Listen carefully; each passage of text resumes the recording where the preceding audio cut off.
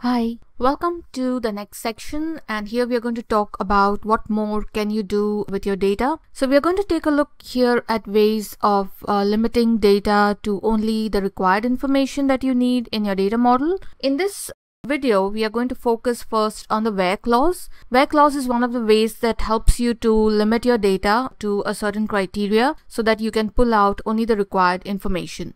What happens when you use the where clause is your data set is reduced and obviously that helps with reducing the load time. And uh, if you feel that the where clause isn't enough for you and you want to use something more, you could perhaps try using the where exists as well. This is another way of uh, being able to pull out only specific information.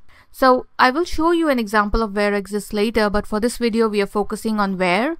The syntax for where is to put in the keyword where followed by the criteria that you would like to use. And an example of this is shown below where you can see that I have put in the criteria for product ID greater than 50. So only those product IDs which are greater than 50 will be pulled out for you or a criteria where the country is like United. So that means it will start pulling out countries that begin with the term United. So United States, United Kingdom, all these would be pulled out from my result set. So this is an example. Let's go into uh, Qlik Sense to take a look at my script here. I have pulled out a table with just basic information, employee ID and title.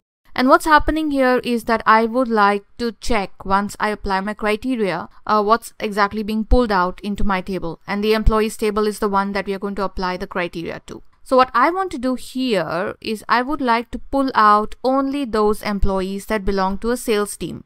And because I do not have a department column in my script, what I'm doing is I'm just using the title instead.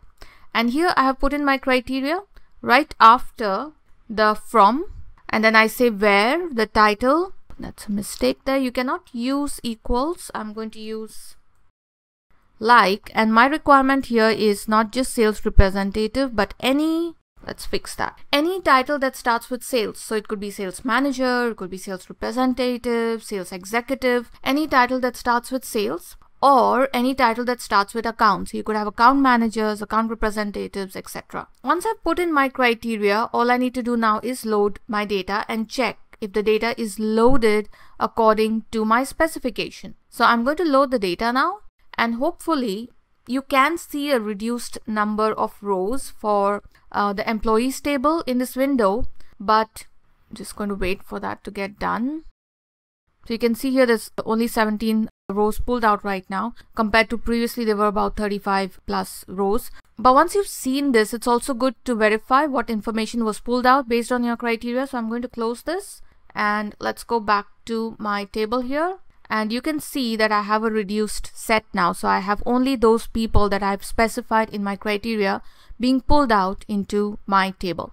So this is how the where clause actually works. I only have now salespeople in my table obviously because I am looking at invoices and I'm looking at shipments and consignments um, so I don't want to have anyone else from other departments because that's not relevant to my analysis that I'm doing. So a reduced table also helps to reduce load time and the where clause is very useful in pulling out only information that you need. If you have worked with databases and you know how SQL language works, I think this is something that's very easy for you to pick up as well.